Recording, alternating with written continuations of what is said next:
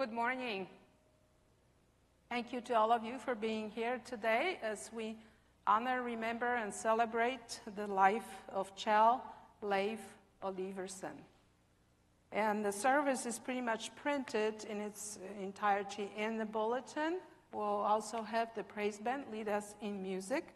And I want to welcome those of you who are on live stream. I know a lot of your family is not able to be here and they are watching us through live stream.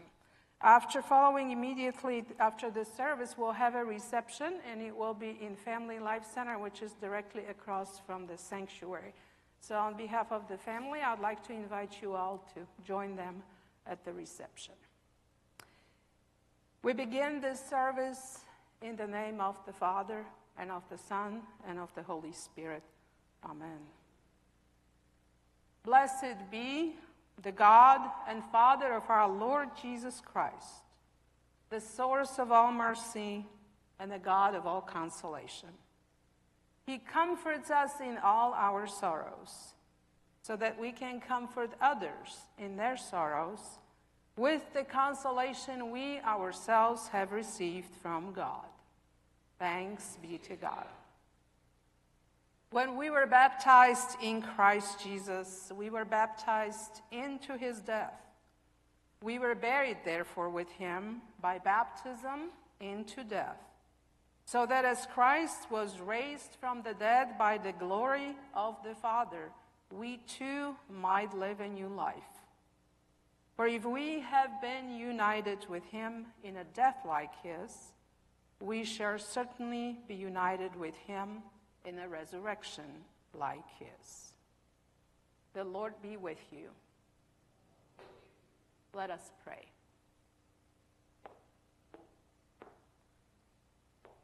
O God of grace and glory, we remember before you today Kjell Leif Oliversen we thank you for giving him to us to know and to love as a companion in our pilgrimage here on earth. In your boundless compassion, console us who mourn. Give us your aid, so that we may see in death the gate to eternal life, that we may continue our course on earth in confidence until by your call we are reunited with those who have gone before us. Through your Son, Jesus Christ, our Lord. Amen. And our first hymn is How Great Thou Art, and we're going to sing it with the praise band.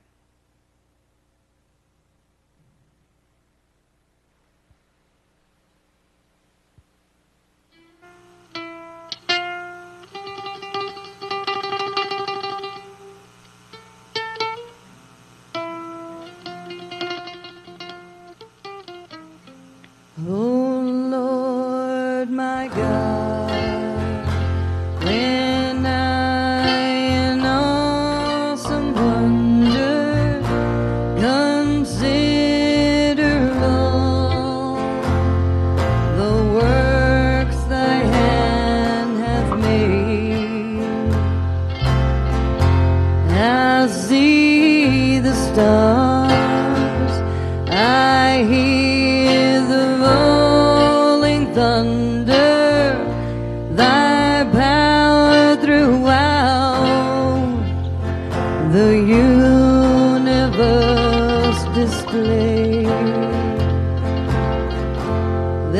cinzento.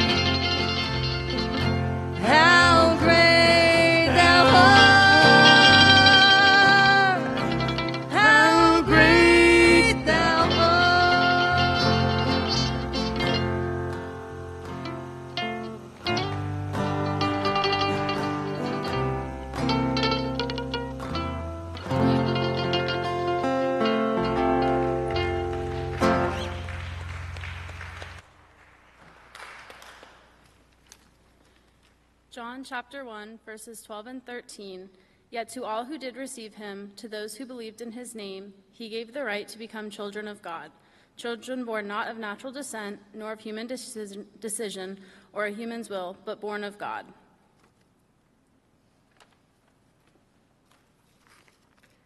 John chapter 14, verse 1 through 3. Do not let your hearts be troubled. You believe in God. Believe also in me. My Father's house has many rooms. If that were not so, would I have told you that I am going there to prepare a place for you? And if I go and prepare a place for you, I will come back and take you to be with me, that you also may be where I am. Uh, 1 Thessalonians chapter 4, verses 13 through 14. Brothers and sisters, would you not want you to be uninformed about those who sleep in death, so that you do not grieve like the rest of mankind who have no hope? For we believe that Jesus died and rose again, and so we believe that God will bring with Jesus those who have fallen asleep in him.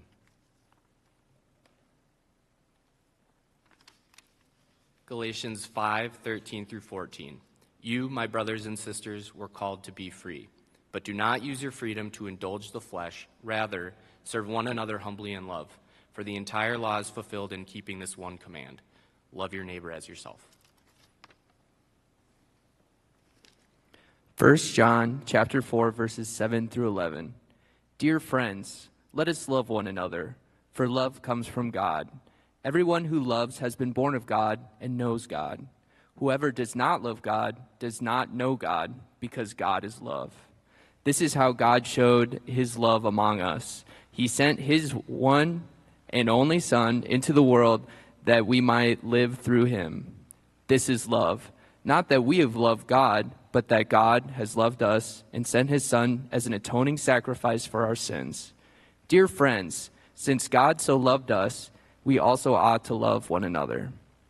I'd now like to uh, welcome my Aunt Shelley up on stage.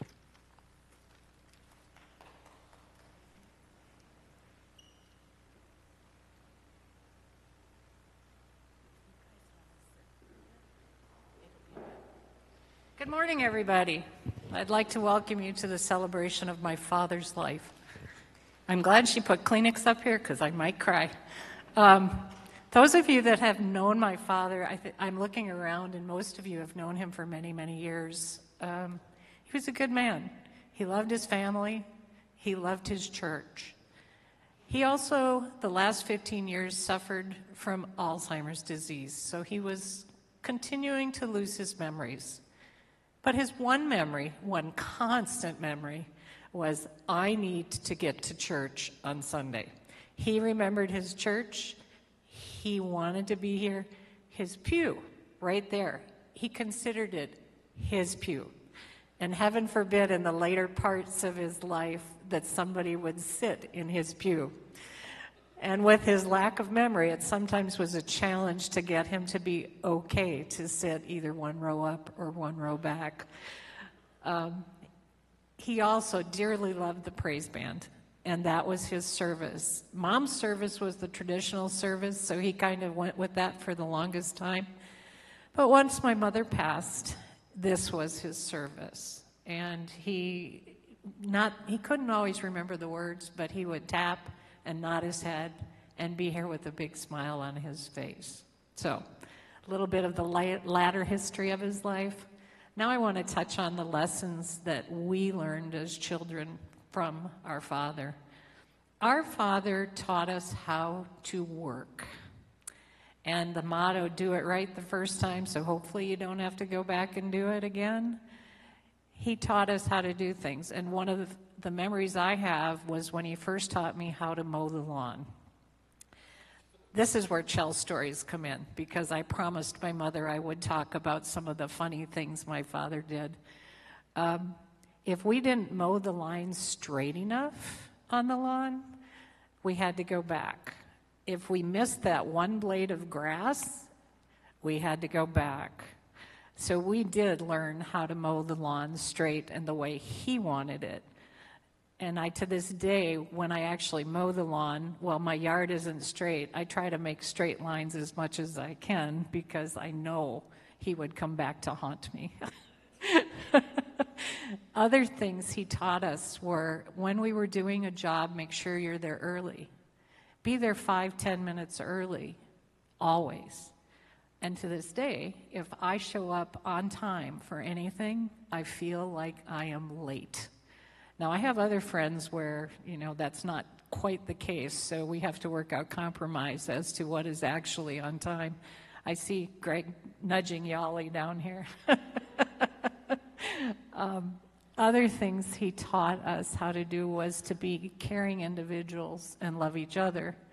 Um, that didn't always take the it wasn't always evident that we loved each other because sometimes we would pound on each other, and, and that was okay under given circumstances, and he'd kind of uh, monitor our behavior and pull us apart when it was necessary that we might actually do some real harm. He was a very much of a family man. I, I, he's been with my mother for 62 years when mom had passed.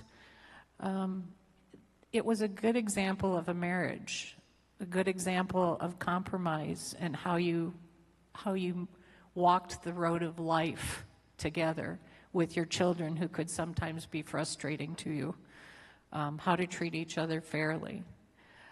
Other things my dad did, he was a putzer. I don't have another word for it. He liked to putz in the garden, putz in the garage, putz. He needed to find things to do. He always wanted to be busy. Even up to about a month before he passed, he needed a job. And his job was to walk the backyard and look for the dog bombs that were left behind. And the minute we took that job away from him, because, and, and it wasn't a job we gave him, by the way, it was one he chose. um, it kind of was devastating to him. He asked my sister, Well, who's, who's going to do that? And Cheryl told him, Well, you're retired. We're going to do that now. Because his stability wasn't that good, and we really didn't need him falling in the backyard. Um, he did that several times, but we didn't need to have a broken arm or anything at that point. Another time, and this is a story I had to share. When I first moved here 15 years ago, I lived with them for a year while I was building my house. And mom and dad were traveling somewhere, and I get a call from the golf cart place saying, Hey, we're bringing the golf cart back. Is somebody going to be there? Well, I didn't know anything was wrong with the golf cart, so I said, Sure, I'll be there. And he made a comment I need you to tell your father to stay away from the power tools. And I said, Really? What did my father do? Well, my dad wanted a different battery gauge in his golf cart, so he took his drill and drilled a hole in the board right through the main power line, right? So they had to replace it. Now, he didn't want to tell me this, but I knew this. So when they got back, I said, So, Dad, what was wrong with the golf cart? And he kind of hemmed and hawed. I said, Okay, I'll help you out. I know what you did let's not do it. Another thing he did, again, story I promised my mother I would tell. When I moved into my house down here, I went and bought a new a new lawnmower. And I had to go to work, and I had taken him with me to help him help me pick out a lawnmower, which I fully could have done, but dad needs to help, and so we let him do that sometimes. I come I get a call at work, honey. Now, Anytime my father called me honey in that tone of voice, meant he had a confession that was about to come out of his mouth that wasn't something I was necessarily going to be happy with. Um, I said, Dad, what did you do? He goes, Well, do you still have the receipt from the lawnmower that you bought today? Well, yes, as a matter of fact, I do. He goes, Well, I'm at the Toro shop, and if it's under warranty, we can get it fixed. So at this point, I said, You didn't put the oil in it that I put on top of the box, did you? So he started a brand new lawnmower without oil in it and wondered why the motor seized up. anyway, so while dad liked to try to fix things, sometimes it went awry. Um, but he was such a good man. He treated all of us wonderfully. He was um, somebody to look up to, and he loved children. I see Joe and Renee out here. They, they adopted a young girl, lived across the street from mom and dad, and that young girl saw my dad and would just take off and run to him. Kjell, I need Kjell. And as she grew older, she'd just walk in the front door and say, I'm looking for Kjell. Now, at this point, Dad has a man cave in the back, so she knew that. She'd run into the house. And Dad always, always had time for the little kids. He would put them on his leg and give them horsey rides. Um, just enjoyed having little kids around. I'm very sad he missed meeting his great grandson because he would have loved that.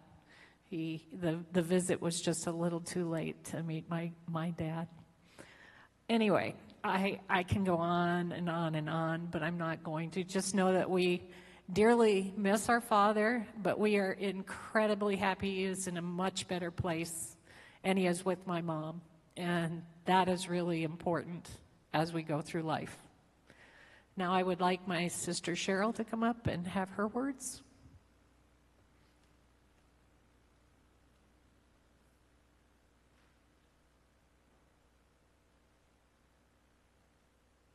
So as the, as the kids were reading, each of the verses that they read struck me as there were little components that just spoke to Dad.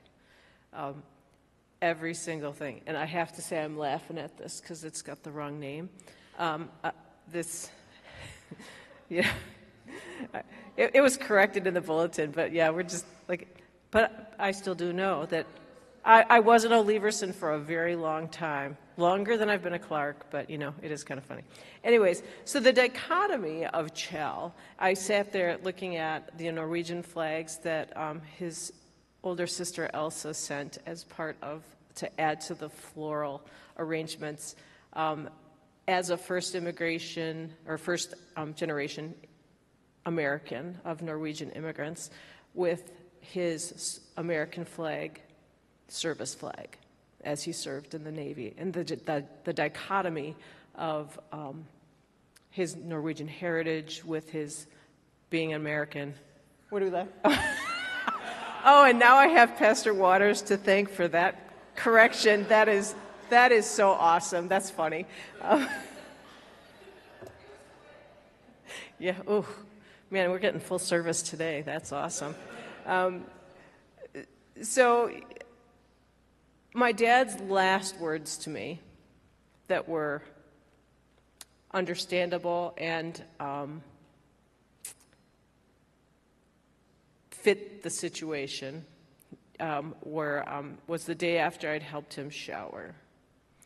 And he wasn't fond of needing help with anything, really, quite honestly. He, he didn't really care for that. But um, you know, we were sitting there in the living room, and he's sitting in his chair. I was sitting in my mom's chair, and I go, oh, I think I'm going to go take a shower. And my dad looked right at me, twinkling in his eyes, and he goes, You need any help with that? so I will always have that last little blip of, like, that was one of the last little glimmers of the real Kjell that was still inside, but he was struggling more and more with letting that come out. Um, in the end, he'd lost, you know, every day we lost different words, different abilities, just lost more and more and more. Um, so I love having that. You need any help? Because he was a good helper all of our lives. He always, when he came to visit, he always helped. He's like, I got to have some chores. You know, he built shelves. I think we all have shelves in our houses that our father built. Scott's laughing because he knows it's true. Shelley's got these awesome shelves in the garage. Kjell made put them up. So my dad was a good helper, and now he is helping us from a different location, and he's with our mom. Um, she was the fun parent. You know, she always made fun, and dad was happy to let her direct that. So we're glad to have you all here and enjoying it. I especially want to say to Julie and Bud, thanks for driving down. You'll get to see the eclipse. Um, but it's always fun to see family we haven't seen for a while, and all of the friends in the back. Um, it's um, great to have everybody here. So I think Scott's next.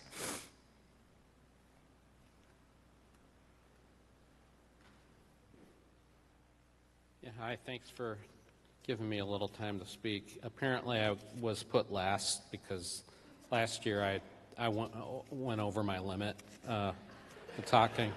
So I just, I have a few pages of notes here that, that I'd be happy to, to share with everybody. But um, first thing, I do want to thank everybody f- for coming. Uh, I do know that we have got uh, friends and relatives in different locations uh, watching remotely, so thanks, thanks to Swan acknowledge that. Uh, every one of you that, that knew my, my dad, and it's kind of weird because just talking about my dad, it's hard to not also talk about my mom um, as well, because they, they really were a, were a super couple, good examples of, of what to do, how to be, how to be committed to each other, committed to God, and committed to the, to the family. So, um, my last my last interaction with my dad was the night before he passed away. Um,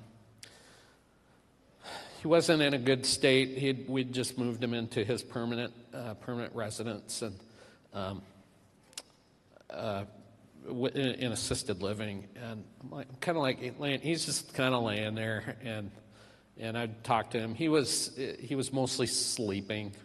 Uh, but a couple things that I remember about that. Uh, I'm like, okay, here I am. What am I going to do? I don't know if I'm going to see him again. I was scheduled to leave the, the next morning, fly, fly home to Minnesota. And so I, I decided, okay, let's, what would my mom do?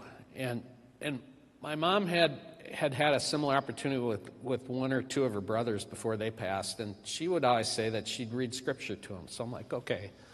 So I pulled out the John 14 uh, section about Jesus needed to go away to prepare a place for him so that, so that he could be there. Again, we didn't know if he was going to be with us for, for a day or a month or 10 more years. We just, we just didn't know. Uh, so I read that to him, and then I, I said a short prayer to uh, with them. And then what followed up with that is what we're going to be kind of helping, it's going to help us to celebrate his life uh, later, is that one of the ladies brought in a dish of ice cream. Uh, and so I proceeded to spoon feed him ice cream. And, and he took it. he, he was barely conscious, and, but he took, he took the ice cream. Uh, and so that, that's really my, my last interaction with him uh, before I left. And then I, I left the following morning, and apparently he had gotten up and had some breakfast and, and lunch, and then I got the call uh, from Cheryl about three in the afternoon that he had passed away. I'm like, what? What, what was this? You know, we didn't. We had kind of expected him to, to last longer, but anyway, it was a sweet, a, a, sweet time with him. Um, I, I'm gonna. I don't really have many pages here, but I, just a couple of notes. A little bit about my dad's my dad's background, kind of where he came from. So he was born, uh, born into a humble existence in Madison, Wisconsin, a, a child of, of Norwegian immigrants uh, back in 1936. Uh, his mother passed away when I think he was three or four. We never did get a, get a firm number on that. Uh, Cheryl says seven. I kind of did the math. I don't, I don't really think that's the case. Uh, uh, grandpa had been away. Grandpa, my grandpa had been away in Alaska. He, he took work uh, work, doing, working on uh, some civilian military projects up there. Um, uh, my, uh, and then after following following the passing of his mother, he got passed around for daycare in, in, school to, to some of his aunts in the area. And at about age 14, my grandpa remarried to the to the woman we knew as grandma, Marguerite, sweet sweet lady. Um, and I'm guessing around the same time he was confirmed at Trinity Lutheran Church in Madison, Wisconsin. Um, and then there was also a story about the church that he was involved in helping with the construction of the, of the sanctuary at the time. My grand, grandfather was a general contractor, and he and my, my dad and my uncle uh, were able to, to work with him. Um, so around the time he graduated from high school, uh, he joined the Navy. Uh, we've got the, the nice flag. Uh, he, he served in the Navy for just two years during the Korean War, so he was a, a veteran veteran there. He didn't, never saw any, any combat there, but he was, the job he had there was running communication electronics. So he did spend time on the bridge. I learned uh, kind of facilitating to make sure communications were happening up there on the USS Iowa. Uh, upon discharge, he enrolled uh, at, at, college on the GI Bill at the University of Wisconsin Madison. Uh, and then he completed his, his uh, mining engineering degree at the uh, University of Wisconsin Platteville. Uh, and it was during this time that he met my mother. Um, they married in 1960, and all his kids kind of showed up throughout the 60s. Uh, and and kind of now on the more personal memories that I have of my dad. Um, the earliest memories that I can think of, and uh, my sisters alluded to, to the fact that he, he just was a family man and he loved little kids. There was an, a palpable excitement around the time when my dad would get home from work. It's about 5, 5.15 in the afternoon. We'd kind of get ready. He'd come home. He'd sit in his chair. He'd have a bottle of Schlitz. He liked beer have a bottle of Schlitz, He'd sit there, and I know I, did, I proceeded to just climb all over him, and he loved it. And oftentimes we'd end up on the floor, kind of in a sort of pseudo wrestling match. um, that, that was uh, meaningful to me. On Saturdays, Saturday morning, a lot of days, and uh, ladies, I don't know if he, if he did this with you, but uh, a lot of times he'd say, Hey, you want to go for a ride? And I'd say, Sure, why not? I'm not busy, you know, as a little kid. Yeah, I'll, I'll go with you. And we would proceed to tour the Vulcan Materials stone quarries in, in southeastern Wisconsin. So we'd kind of, we'd hit Sussex, we'd hit Dousman, go to Franklin. And oftentimes that would also include a trip to Kopp's uh, Burger and Custard Stand in Milwaukee uh, on our way home. So that was special. Um, and as we got older, he continued to, to do things like he'd show up to track meets, and I'm sure he was at tennis meets for my sisters. Um, I did the, the track and stuff, and so we are always doing that. The other thing, oh, also choir and band concerts. Uh, I do have to mention about the music thing uh, with my dad. Uh, a lot of times in the car, uh, he'd put the radio on. Now, we, we, couldn't, we couldn't choose the station, it was him choosing the station. And it was sort of a hodgepodge what he'd put on. But whatever the, the musical genre was, he would always make up words to songs that he didn't know, but he would always hum or tap his foot. And even, even the last time I was in church with him here, he still had the ability to, uh, to hum along in harmony to whatever song we were doing. Uh, sometimes he didn't know when to not do that. If somebody's doing a solo uh, up front here, it's oftentimes you'd hear him humming the bass line uh, ne- next to it. Of course, that resonates across across the place. Um, yeah, Dad was he was super supportive of our extracurricular activities. Uh, supportive of our educational, uh, the time that we, we spent in education. Uh, one day, uh, per, for, for me, uh, with our musical endeavors, all as kids, we never lacked in having the, the right musical instrument. One day he said to me, I was learning how to play bass guitar. And he said, Hey, I see this guy's got this bass guitar and amp for sale over here. So we proceeded to drive over to this guy's house, check it out he wrote a check for I think it was about 500 bucks, and I got my Fender bass and my Peavey bass and speaker uh, com- combo, and and I still have the guitar today. So uh, it's it's nice. Yeah, there you go. Yeah, I still have it today, and it's worth about two thousand uh, dollars. The last I checked. So my dad had a good eye for for things, and he was very encouraging uh, along those lines. Um, so I'll, I'll end it here. I could say more. Uh, but like my sister said, uh, he, he and my mom both provided all the tools that a family needs for, to, to be successful in, in life. He had, he had a love for God. Uh, first, he was, first, he was a Christian. Then he was a Lutheran. But he, second, he was a Lutheran. And, he, and, and they continued that tradition uh, throughout their entire lives. Uh, they loved, the, the, they made most of their friends in church. Uh, now, they also made friends playing golf and playing cards too. You see a lot of the pictures uh, that, that were playing cards. To this day, we continue to, to live that on. But he had a love for God, a love for his wife first, family next, and uh, he really just he created an atmosphere and environment for, that we, we could be successful as kids. So we love our dad. We'll miss him. Loved my mom too. Uh, we know that they're, uh, they're both in a better place. And thanks for coming. We'll look forward to visiting with you later. And we do have some ice cream later uh, to, to go along with the lunch. So, yep.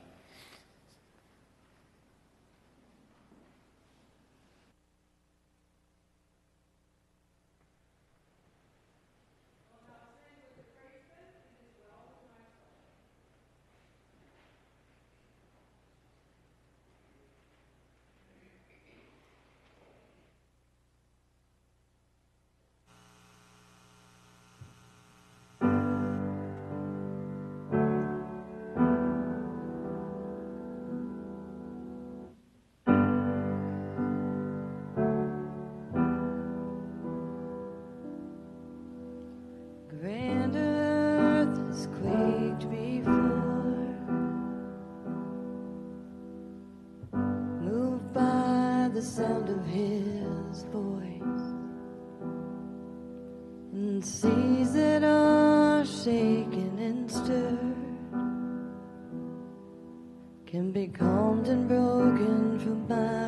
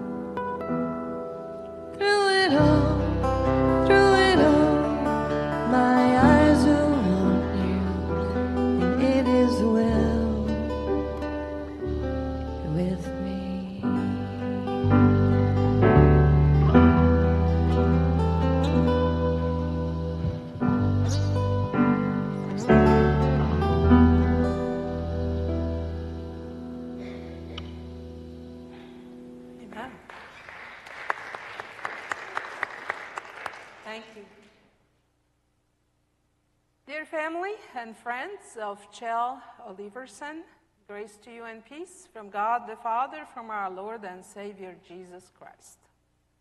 I don't want to repeat too much of what's been already said, but I do want to reiterate that Kjell really loved music. He loved the praise band. He loved the services. And this is why we celebrate his life today with praise music, with heartfelt tributes, and with sharing of memories, and eventually also with ice cream. I will not repeat too much of the obituary information, but I want to just tell you a little bit about one, one episode that happened. So I've been here a long time. I've known Kjell for a very long time, and I always addressed him as Kjell. Well, I thought his last name was pronounced Oliverson. And it didn't happen until he appeared on our prayer list when he got ill that I had to say his name full last and his first and his last name every Sunday. And I would say, Kjell Oliverson. And then finally, one time, he just, he couldn't stand it anymore. That's what it was. He said to me, Well, you know, don't say it with your Polish accent. It's actually Oliverson. And so, from that moment on, I knew he was he was a Leverson. And as a person who is, you know, who my first language was not English, I am also very sensitive to it. So this was Kjell. He was very proud of his Norwegian heritage as a first um, born American in his family. As you can see, we have the Norwegian flags as much as we have the American flag, because he was also very proud of his service in the Navy which he completed uh, with, um, with honor, honorable discharge before he enrolled in the University of Wisconsin. But I want to say a little bit more about his involvement in the church, because I think that was also very significant. The church always played such a, a big role in, in his life and also then with his wife, Arliss. They, they were both lifelong Lutherans. Uh, when they moved to Fair Oaks, which I think they moved from Stephenville, where he worked, that was his last position with the company.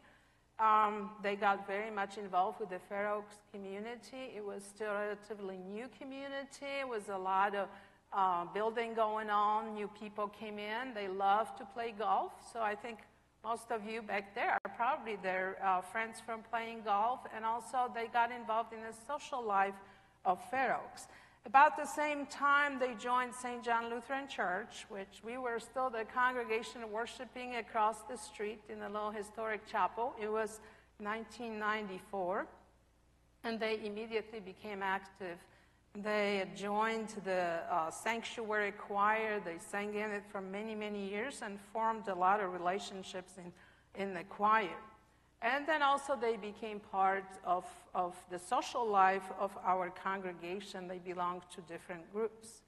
But I want to say about probably the most significant uh, church membership that they ever held, and it was when they lived in Racine, Wisconsin. That's where all four of you were raised. Um, and they attended, when they first moved there, um, the Lutheran Church of the Redeemer. Uh, but in 1965, a young, energetic pastor came on board and he uh, encouraged Kjell to help him with a church plant.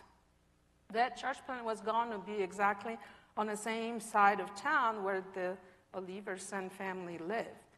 Later, both, uh, I think I have a date here in 1966, that Kjell and Arliss became charter members of what was now known as St. Andrew Lutheran Church on the north side of Racine, Wisconsin. And that church I know had become your spiritual home. It also probably was the social bedrock for your family because this is where all of you kids were raised. And I know your mother found it very important that you would participate not only in children's choir, but in Sunday school, vacation Bible school, and probably confirmation on all that is required. So uh, this was, I think, very significant for their lives. The other thing that um, they enjoyed much was traveling. It was mentioned here, and they traveled to Italy, Hawaii. I know they took a Holy Land trip, one of the early trips from this congregation, and uh, at least Arliss, but I'm sure your dad felt the same way. It was a life changing experience for them uh, to go to Holy Land. And then they visited Norway twice, his parents' homeland. The first time it was, uh, they went with his siblings and their spouses. And I am sure they went to, to the place where the family uh, came from. The second time in 2008, um, Kjell and Arliss took you guys, their children and grandchildren, and I'm sure it was the same thing. It was a life changing experience to see the land of your ancestors, not to mention Norway is one of the most beautiful places in the world. Uh, so Kjell was always very proud of his Norwegian heritage. Um, today, as we honor his life, we also want to go back to scripture that was read here. We're not only here to give thanks for the blessings that he received in his life, for the blessing that he was to all of you, his family and friends, but also to find comfort from Scripture. And one of them was uh, reading from 1 Thessalonians chapter 4, where Paul, in verses 13 and 14, St. Paul reminds us we do not want you to be uninformed, brothers and sisters, about those who have died so that you may not grieve as others who have no hope. For since we believe that Jesus died and rose again, even so through Jesus, God will bring with him those who have died. God will bring back to life with him those who have believed in the Lord Jesus Christ, who have been baptized into his death and resurrection and who have died in the faith. Jesus promised, Because I live, you shall live also. And as we heard the reading from John 14, that he's prepared a place for us so that where I am, you shall be also. So, you know, as Christians, we have this living hope that is born through the resurrection, through the death and resurrection of our Lord Jesus Christ. It was just last Sunday that we celebrated Easter and we proclaimed that God had triumphed over death by raising his son Jesus from the dead. That the grave could not hold Jesus, but that God's power is stronger than death. And so, this is the strength of our Christian faith. We believe that death is not the end. Because Jesus was raised from the dead and lives, we also shall live with him. This is the promise of faith that we proclaim today for Kjell and for ourselves. That Christ is risen, that he lives. And because he lives, we shall live also. So, in this living hope, we entrust Kjell Oliversen to God's eternal care. May he receive the blessed rest of everlasting peace in the presence of the Lord, and may he dwell in a company of the saints in light. Amen. We'll now sing Amazing Grace, My Chains Are Gone.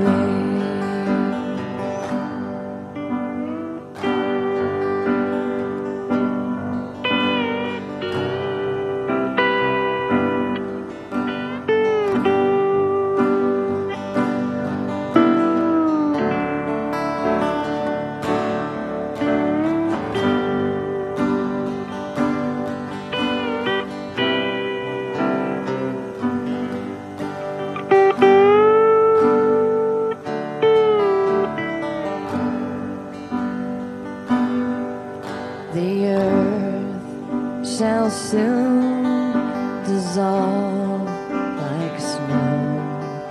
The sun forbear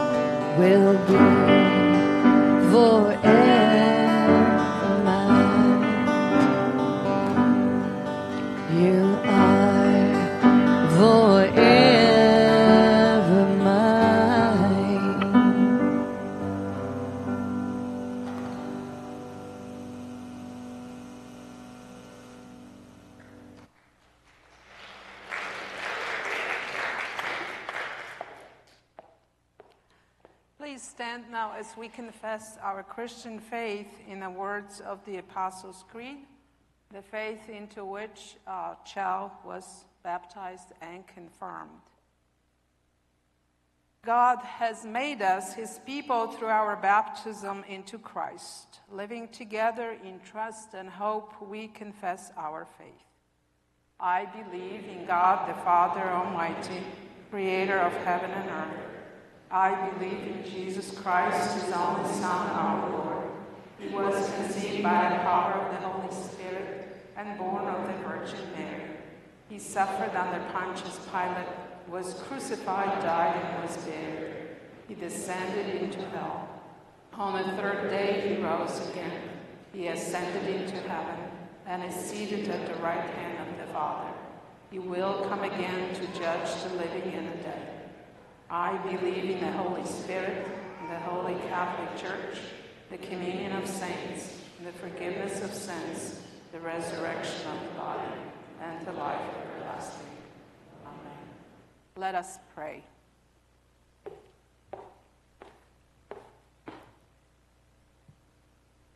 Almighty God, you have knit your chosen people together in one communion in a mystical body of your Son, Jesus Christ, our Lord.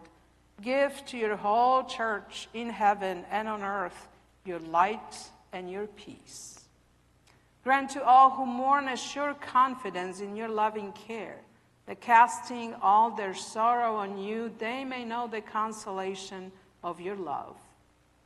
Give courage and faith to those who are bereaved, and especially we pray for the Oliversen family, that they may have strength to meet the days ahead in the comfort of a holy and certain hope, and in a joyful expectation of eternal life with those they love. And grant us grace to entrust Kjell Leif Oliversen to your never failing love which sustained him in this life. Receive him into the arms of your mercy and remember him according to the favor you bear for your people. God of all grace, you sent your Son, our Savior Jesus Christ, to bring life and immortality to life, to light. We give you thanks because by his death, Jesus destroyed the power of death and by his resurrection has opened the kingdom of heaven to all believers. Make us certain that because he lives, we shall live also, and that neither death nor life, nor things present, nor things to come shall be able to separate us from your love, which is in Christ Jesus our Lord, who lives and reigns with you and the Holy Spirit, one God now and forever. Amen. Now please join me for the Lord's Prayer. Our Father, who art in heaven, hallowed be thy name. Thy kingdom come, thy will be done on earth as it is in heaven. Give us this day our daily bread, and forgive us our trespasses, as we forgive those who trespass against us. And lead us not into temptation, but deliver us from evil. For thine is the kingdom and the power and the glory forever and ever. Amen. Into your hands, O merciful Savior, we commend Kjell Leif Oliversen. Acknowledge, we humbly beseech you, a sheep of your own fold, a lamb of your own flock, a sinner of your own redeeming. Receive him into the arms of your mercy, into the blessed rest of everlasting peace, and into the glorious company of the saints in light. And receive the benediction. The Lord bless you and keep you. The Lord make his face shine on you and be gracious to you. The Lord look upon you with favor and give you his peace. In the name of the Father and of the Son and of the Holy Spirit. Amen. And our last song will be I'll Fly Away. And again, I want to invite you for the reception in our Family Life Center. There will be not only ice cream served, but also lunch, and then followed by brownies and ice cream.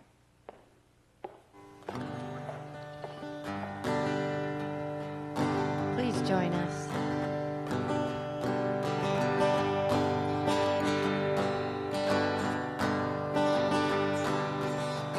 Today we sang to Kjell, we sang for Kjell, and since he's here with us, I want to sing with Kjell.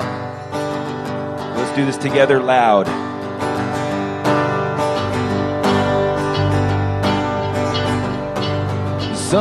glad morning when this life is over. I'll fly away to a home on God's celestial shore. I'll fly away. Here we go. I'll